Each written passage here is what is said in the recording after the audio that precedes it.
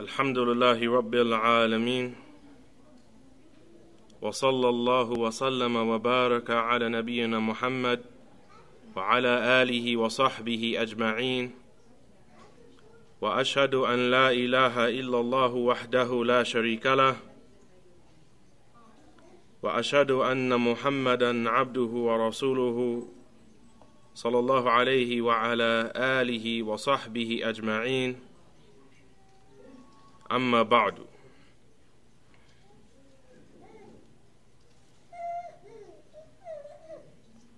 We have about 30 minutes to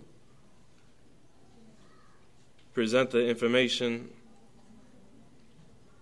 at hand, and this information is a number of advices pertinent to the Muslim woman and what is her role in the community? What is her role in her household?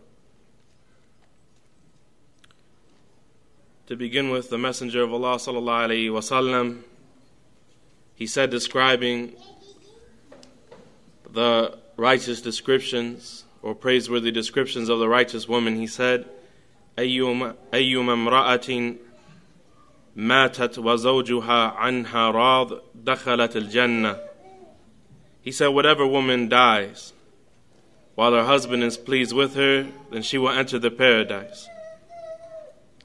And the Messenger of Allah sallallahu alayhi wasallam he said, إذا صلت المرأة خمسها وحسنت فرجها وأطاعت بعلها دخلت من أي أبواب الجنة شاءت. That when a woman prays her five daily prayers and safeguards her privates and obeys her husband, then she will be able to enter into any of the doors of paradise that she wishes. The Messenger of Allah sallallahu alaihi wasallam he was asked on one instance in a hadith that is authentic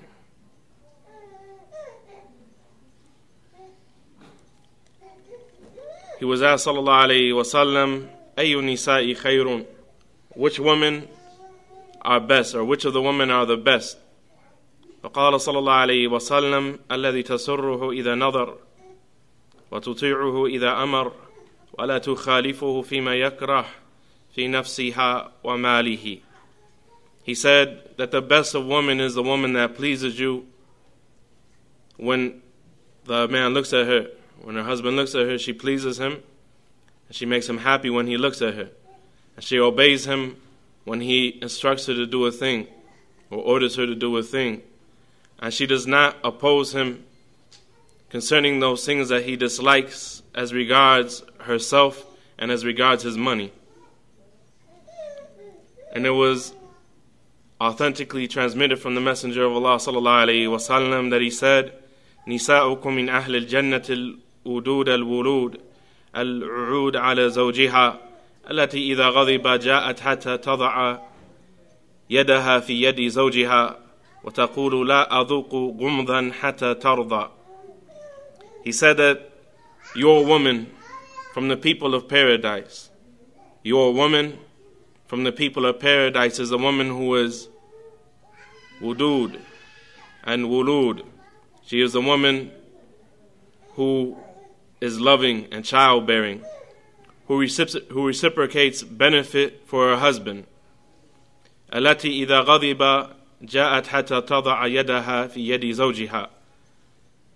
She is a woman that when her husband is angry, and she places her hand in the hand of her husband, and she says, I will not taste gumdan, meaning sleep or slumber. I will not taste sleep or experience sleep until you are pleased with me. And so, this woman, she is the one who is loving, and she is the one who is ulud, a al kathiratul wilada. She is a woman who gives birth a lot, who has a lot of children. She is a woman who is urud, a التي تعود على زوجها بالنفع. She is the woman that reciprocates benefit for a husband. And this is similar to the statement of the Messenger of Allah sallallahu alaihi wasallam when he said alayhi salatu wasalam خير ما اكتنز الناس قلب شاكر ولسان ذاكر وزوجة صالحة تعينك على أمر دينك ودنياك He said that the best treasure that people keep hidden is a heart that is grateful to Allah and a tongue that is remembering of Allah, and a righteous woman who helps her husband as regards the affairs of his religion and the affairs of his dunya. He said, This is the best treasure that people keep hidden and keep reserved for themselves. And the Sahabiyat, the female companions of the Messenger of Allah sallallahu alaihi wasallam, the wives of some of the most illustrious of the companions of the Messenger of Allah they were known to help out their husbands and that which was in their capability. For example, when some of the companions made the hijrah from Mecca to Al Medina, some of them encountered some poverty and some difficulty, and from them was Abdullah bin Mas'ud. And we know the narrations in which the wife of Abdullah bin Mas'ud asked about giving sadaqah to her husband. And we know how Asma, the wife of Az-Zubair radiallahu ta'ala anhuma, how she used to help him in his orchard. And there are a number of narrations from the Sahabiyat of how they used to help their husbands as regards the affairs of their dunya, just as they used to help their husbands as regards the affairs of the deen, like waking them up to sleep in the middle of the night. The Messenger of Allah sallallahu he said in a hadith, the meaning of which is that the person who wakes up in the night and he wakes up his spouse or they wake up their spouse and they pray two rak'ah in the Jawf al-Layl in the middle of the night, then Allah subhanahu wa ta'ala will write them from the dhakirin Allah kathiran wa Allah subhanahu wa ta'ala will write them from those men and women who remember Allah subhanahu wa ta'ala much and often because they wake up in the night to pray only two short rak'ah of the night prayer.